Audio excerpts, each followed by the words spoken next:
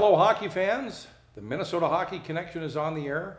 We're on the air for the next half hour. I'm Kenny Gallagher along with Jerry Burrow. Jerry, today is October 5th of 2020. We're a month late. Boy, We should what have been here a month ago. what a year this has been. I think our last taped show was eh, February or March. Maybe March. Right after the state high school tournament, they closed everything down. Yeah, so Yeah, it's been a long time, and six, seven months. we could have talked a lot of hockey, but there wasn't any. Yeah, NHL shut down. They got the Stanley Cup in, and we have a Stanley Cup champion. The Tampa Bay Lightning uh, defeated the Dallas Stars. Thank God. And UMD could not re three-peat. So are they still defending champions? I guess they have to, because Yeah. who was the last one? So I guess they are. Yeah. Well, uh, again, glad you could join us. Uh, we're back for uh, a new season. Not sure how this is going to go, but uh, I know that the NHL is looking at uh, a shortened schedule. The League and Player Association have tentatively agreed to a December 1st start date with training camps starting on Tuesday, November 17th. However, a high ranking team executive said an 82 game schedule for next season is a pipe dream. It's just not going to happen. Uh, the ECHL has approved a start date for December 4th for a Wow. full 72 game schedule. The AHL has already planned for a condensed schedule with a start date moved from October 9th to December 4th. Unlike other major sports, the NHL are more reliant on arena revenue than the massive rights deals by other sports leagues. And the situation is even more vital in the AHL, where the economics just don't make sense without fans. Nothing's a done deal yet, Jerry. No. There's, there's still a pandemic. I talked to a couple pro scouts, and they're thinking the same way as that executive for the National Hockey League. They want to get started on around December 1st, but they say for money, they want fans in them, in the stadiums. They have to. And they say they depend on that revenue. They, they're thinking, they were talking after the first of the year. So Well, who knows? There's a couple of things right now. Is they're talking during the uh, playoffs. There were the bubble cities, if you will. You had Toronto and Edmonton, and then Edmonton hosted the Stanley Cup, and that worked. Not a single player tested positive. Bubbles work. It worked because these players were isolated. The, the teams were isolated. They didn't uh, venture out and, uh, and do things that might have caused them to catch COVID and spread it amongst the team. It worked. However, during the NHL season, they're now they're discussing a possibility of a four-city bubble. Boy, I don't know how you squeeze how many teams are and Seattle. uh, Seattle, Seattle's not a part of the mix this year. No, next year. next next year. Next year. So, uh, how do you fit these 30 plus teams into four different cities? It Better be a city that has a lot of hotels. They can put put them in their bubble hotel rooms. And don't we still have some travel restrictions regarding uh, Canada in the U.S.? How do these teams move back well, and they forth? allowed the American teams to go up there. well, they stayed there. Yeah, but uh, once they got there, Yeah. you know, But as far as, you know, constant travel week after week, day after day, I don't know how that would work, but right? They can't. And these players, even though even the Tampa Bay players, they were so glad to get home and see their families too, even though they won. You know. You know, this really is something that here we are battling a, a pandemic, this COVID 19, that is highly conda- contagious, and people that are vulnerable are very susceptible and could face almost certain death if they fall within the certain categories 70 or older, overweight, Right. uh, underlying conditions, uh, bad comorbidity issues. Um, so, we're dealing with something that's completely changed our, our world, really, but not just our lives, but now us, uh, our, our, our sports teams. Yeah, I Sports just leagues. I just talked to Bob, Bob Nygaard, the former SID for UMD for 37 years, and we're talking about the fans and that at Bulldog hockey games, and we just started thinking, you know, two thirds of the fans that have season tickets are over 50 years old. They're older people that have these season tickets and they've had them for years and years. And he says that the season tickets, uh, th- almost 30 years ago, they, they had a waiting list of over 2,000.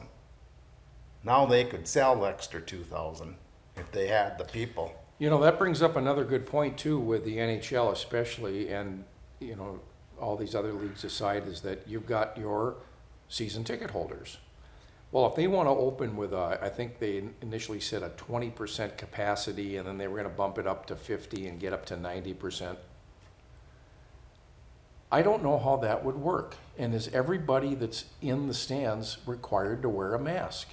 And what will happen with the fan next to the fan that's disobeying any of the orders or, or uh, things that, you know, they've set in place?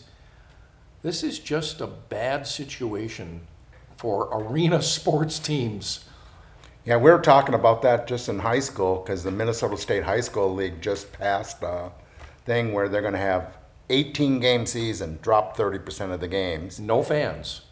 Well, they don't know that yet because it might be arena to arena, your city, your arena. They don't know that. It's not, you know, the word's not down yet on that. Well, what his MSHSL said.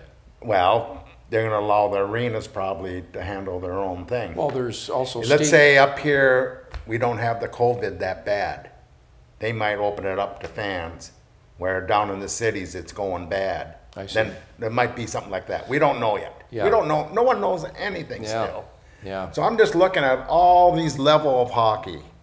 The Minnesota State High School League approved that they can start practicing the regular date they were gonna, November 13th, I think it was, and start games right after Thanksgiving. Okay, juniors, the North American Hockey League is starting scrimmages already. They're gonna start playing right away. But they're not gonna allow so many fans. So it's not gonna produce Whoa, whoa, money. they're not gonna allow any or No, some? there- some. They'll allow twenty percent or something like that. Okay. Well, Cloquet is home of the wilderness. Yes. Minnes- What, what are you hearing, what's Cloquet gonna allow? I, uh, I think about two hundred and fifty. Yeah, Two hundred and fifty. That's what I'm hearing. And then, um, the North American Hockey League, I think, lost four teams going into this now. Okay, USHL is not gonna, their plan is to start in November. And two of the teams are dropping out for one year because of this. They're gonna put money into their arenas and get a better order than that. The Madison, the S- Suter's rink. yeah, And um, I forget the other one, but two of them are- are staying out one year. Yeah. So there's 14 teams only. But these are all money making. I mean, the juniors are just money. They're there for the money. It's a business. And I don't know how many teams can survive by not having money come in. Well, you can't. so I don't know if it's even good to even have hockey just Well, for the year or something. The scary thing is, is if they start this, if they do this, and whether they allow fans or not, if you start having players getting COVID nineteen, you basically gotta shut the team down. I mean, I That's know- another thing. You, you, you you have to. soon- oh, And if yeah. you shut a team down, how does the league continue to play? There's two weeks that they can't play. There you go. This is not good for, for, for And it's gonna happen, it's gonna happen, especially up here in the north, Northland where you're inside a lot. Anyhow, in the I winter think time. that if the NHL wants to have a season, they need to follow their, their same protocol that they had during the playoffs. And they need to bubble up, Jerry. How about build an outside rink down in St. Paul? Bubble up for the hotels, and they play outside games. Why, what's wrong with the Xcel? Hey, it's inside. Oh. I'm saying outside. You play outside all the time, like a Yeah. rink rat. Well, again, the NHL can, can, I think, do this more so than uh, the, these other teams, the minor leagues, you know, because, well, we heard, you know, the AHL especially, the AHL, um, the economics don't make sense because they depend on that arena revenue more than other leagues, other sports. And they got these contracts, and what's gonna happen? How can they keep it refrigerated? That's cost a lot of money to And if the AHL's affected, that affects the, Everything. the NHL. all, all the way down the line. Uh, how do you move players up and down, back and forth, when you've got, how many teams are in Canada? Um, you know, and you've got this border situation. I, I don't think this is a done deal. Again, tentatively, December first, the NHL starts their season, but let's go. that, that's the same time as the colleges, but now I'm hearing they, they might wait until after the first of the year too. Something's gotta give here. Someone has to make a decision and go for it, and then when it doesn't work, close it down. And do you just say, well, let's just go, and when somebody gets sick, we'll shut it down, but then you're putting people's lives at risk. Yeah, who knows? You know, there's more than just the player getting I don't want to sick. make the, that, that decision. No, I, I agree, because you've got a sick player, now he's maybe affecting other play, players, he's got his family to worry about. You don't even know it. It's crazy. And, Okay, uh, let's say, okay, we're playing now. All these leagues and that. Let's talk a little bit what happened with the Wild since last March. There's a lot of things that happened with the Wild. Well, first off, they won the opening game in the playoffs Oh. against Vancouver, and I thought, here we go, boys. And then there was nothing after that, Nothing. Nothing. They had nothing in the bag. nothing. And look what uh, the new general manager Guerin's doing. He's not going to re-sign Koivu. He's done it as a Minnesota Wild. I don't know if he'll play for another team another year or two, but Well, under the current circumstances, hard to believe he'd come back. Right. But uh, they trade Eric Staal. He had 40 goals year before last, and he was starting getting a few goals at the end of the season there. So they They're- trade him for a younger kid, Well, I was gonna faster kid, but Yeah. he but he hasn't shown anything goal goal scoring. Well, they're looking, they're, they're going young. They're, Then they uh, picked up Nick Bjugstad, a Minnesota, at least he's a Minnesota kid, yeah. big boy. Oh, he's gonna, That's fine. he's gonna have to make the team. Does Right. Nick help his team? He's a centerman, right? Yep, he's a center, so he has a good chance of making it. Yeah. No, he's a, he just hasn't proven himself yet. Well, he's got some NHL games under his belt. Oh yeah, Florida and Pittsburgh. Yeah. He's Florida about three, four years, and then he went up to Pittsburgh. And then you got the Russian coming in. Yeah. KK. He'll be a top six uh, forward. People, I think, are putting too much, like he's going to be the the breaker for the team. I don't think so. He's not that. He's not a, that big, and but I think he'll help the team because I think he'll be a top six forward. We'll see. You know, it's funny because I was watching the NHL network, uh, uh, and I can't remember the player's name, but uh, former player. And they were talking, and they were analyzing the uh, teams, and they got to Minnesota, and he said Minnesota's one of those tweener. You know, they're in between, and he said they've been there for ten years. Yeah. Yeah. They haven't changed a bit. And what does Minnesota need to do? We've changed uh, coaches. Many times. We've changed general managers now. Uh, I think this league, it's just the way you draft, the players you get. And let's face it, if you're going to win a Stanley Cup, you need four solid lines. Your number four line has to be as good as your number one line, maybe. I don't know. We don't have that. I mean, defense now, Suter's getting up there, but they still got Spurgeon. They just signed, uh, re-signed uh, Brodin, Jonas. What about Zach? They're they're getting old. They're not. I don't think they have anything left in them, really. I mean, Zach's got grit. Yeah, but he's uh, but he's he's gone downhill in scoring and all that. He's getting old. now, when did they uh, sign that deal? I believe was that a, a nine or an eleven year deal? Thirteen. Thirteen years. Thirteen years. with him and uh, With the no Suter. trade, no trade clause, no. Yeah, it's crazy. No. At first, I guess everyone loved it, but they weren't thinking of thir- wait a minute, thir- no one lasts 13 years really in hockey. Yeah, I mean, there's very few if they do. I mean, but they're role players the last five years. goaltending. Does Stalock come Oh. back? Is Dubnyk uh, the answer? I don't know. They might bring the young kid in. Who knows? Who's the young kid? The one that started with K. I Oh. can't think of his name now. Okay. He played a few games this year. Um, You know, it really was. they're gonna resign, they're trying to resign. I thought they were gonna this week, but Carson Soucy, yeah. he, he played, I thought he, he looked pretty good for a young kid. I mean, he'll, he'll get better and better too, so I think that'll be a good, he'll be a solid D for many years. Yeah. Dumba, I think they're gonna trade. They're trying to trade him. Okay. But no one's gonna give him much right now, so that's what the problem is. Yeah. Um, Spurgeon is still good. And I guess if they give Brodin seven years, he's been here about seven years. Eh, that long? It's pretty close. Came in pretty young, but uh, yeah, I don't know. I, I, I, what this former player said about Minnesota being a tweener Yeah. team, you know, just in between good and bad, and the fact that they've been there for the past ten years, I thought, boy, that's a pretty good analysis. Well, you know, they traded a player today to San, San Jose, Okay. to the Sharks, Ryan Donato. Okay, And they, they're getting a third round next year, Yeah. third round pick. all right. So who is going to score?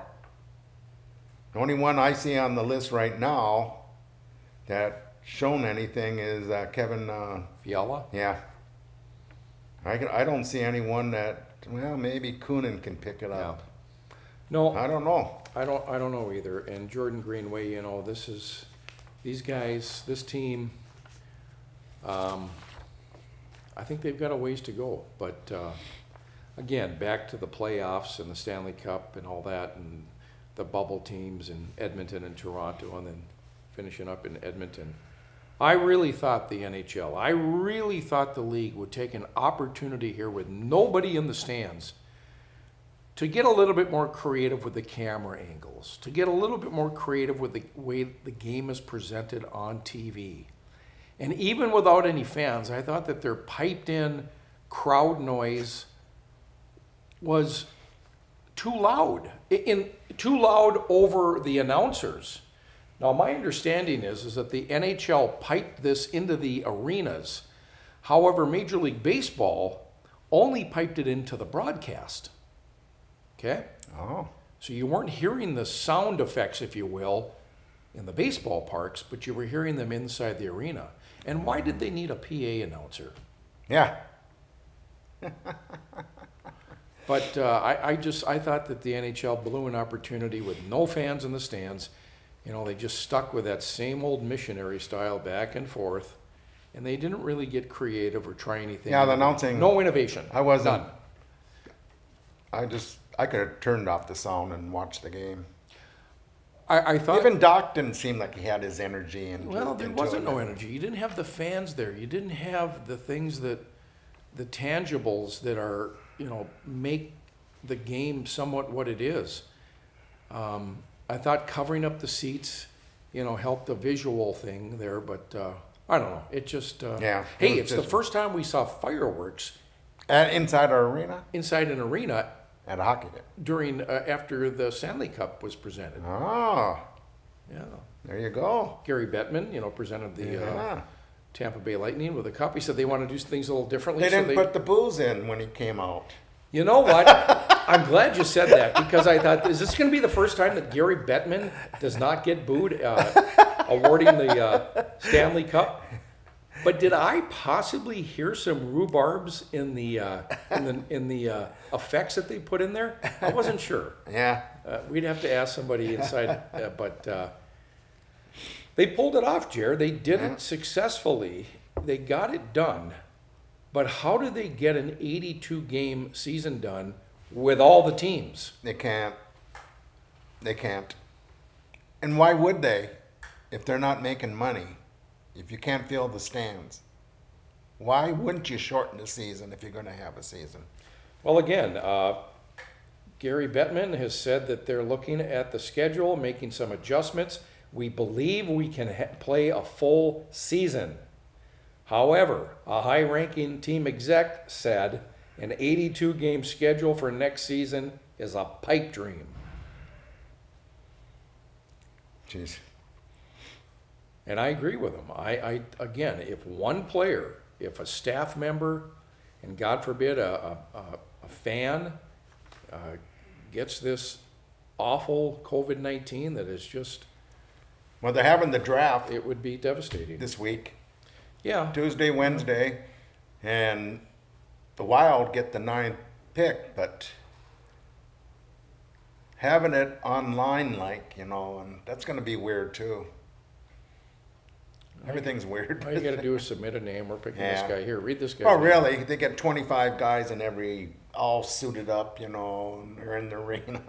and all the Midwest ones, well, I've been working all year and you didn't take any of my guys, I told you. I know the Wild have a new, uh, GM, vice, uh, Yeah, whatever, and- assistant. they got him from Vancouver.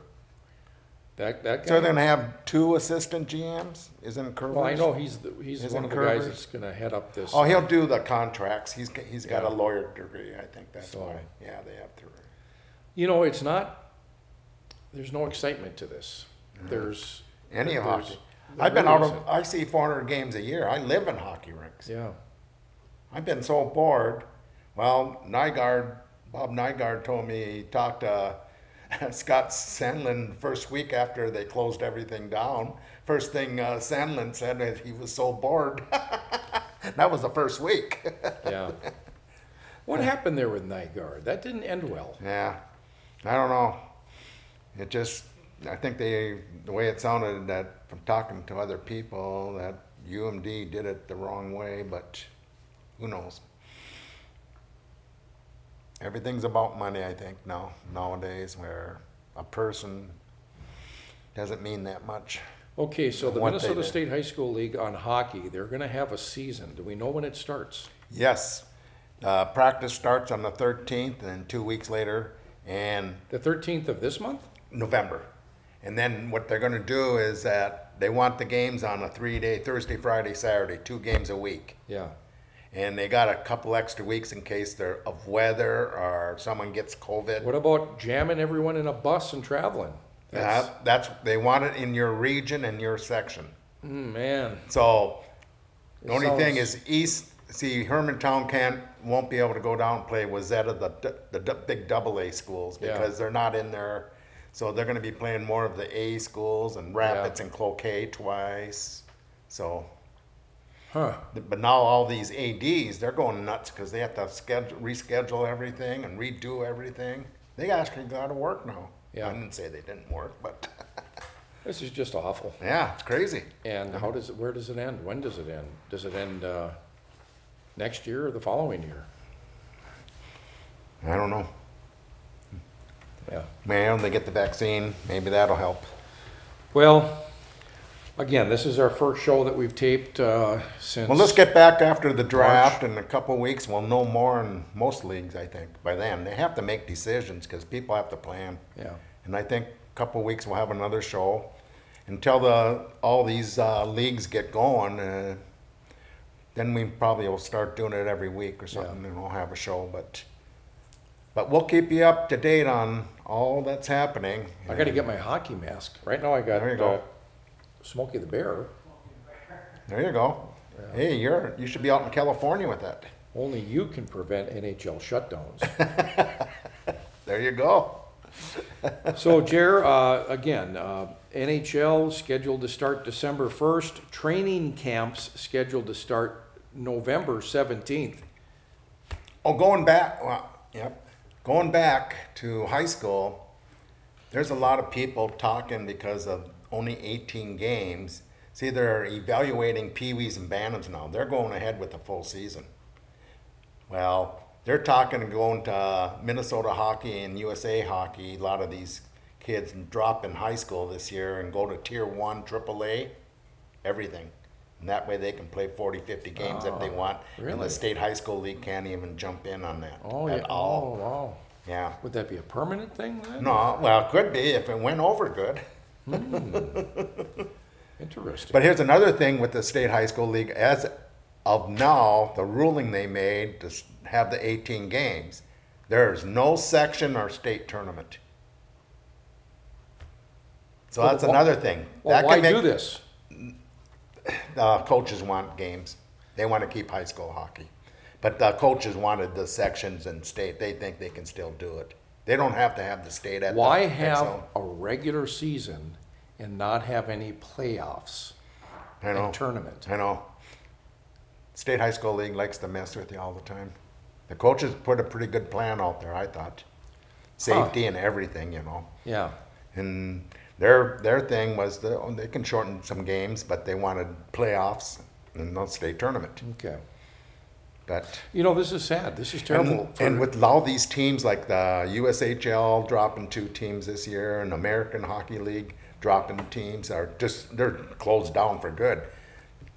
But um, what's going to happen is that these kids, high school kids, think they can go up to these. There's not enough players. They're they're gonna. It's hard to make a team, and if they do make the team, they won't dress all the time. So they have to have something going here. What's happened in, in Europe with these uh, European leagues? I don't know what they're doing yet. Okay. I've just been studying, the talking King- to people about our leagues Yeah. here in Minnesota and all the development to get to the next levels and that. Because those leagues are affected in some way because they get a lot of North American players that play in those leagues. Yeah, and look at uh, the the UMD. They, we got four or five players that are going to the pros, but now with all this going on, they left early. Richards, uh, Dylan Samberg. Now they left early to go play in the pros, and They got nowhere to go. they might they might not. Can the NCAA rule that? Uh, They could do a rule. They can come back or something. I mean, this is a Perunovich. very unique Perunovich is another one. situation. There's three right there. Extremely unique Yeah. situation. I think the NCAA better open up too. Yeah. Well, See, the NCAA and then the Minnesota State High School League, that's a junior, and they, they trying to, sometimes their rulings, I don't, doesn't make sense to me. Well, it was fun to talk hockey with you, Jerry. It's been uh, it's been a while to say the least. Uh, we want to thank the staff at Pact TV, where this program is produced in downtown Duluth, and we want to ask you to join us uh, at our website. We have uh, MinnesotaHockeyConnection.com. We have our Facebook page. Find us on Facebook, Minnesota Hockey Connection, and like us there. And like Jerry said, uh, we'll be back a couple of weeks and uh, check in with you then and let you know where we're at. Yeah. Well, stay tuned. I hope there's hockey. Well, uh, I know we usually say, uh, what do I usually say? See you at the rink. Well, that's what you say. Uh, I don't remember what I used See, to it's been so long. I seen your moment. We'll see you next week to drop the puck. All right.